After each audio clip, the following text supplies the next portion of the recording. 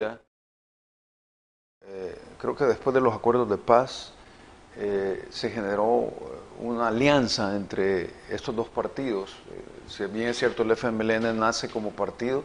pero precisamente Arena y el Frente se fusionan y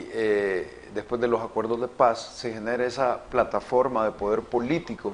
donde ellos generan todo este músculo y arterias por medio del cual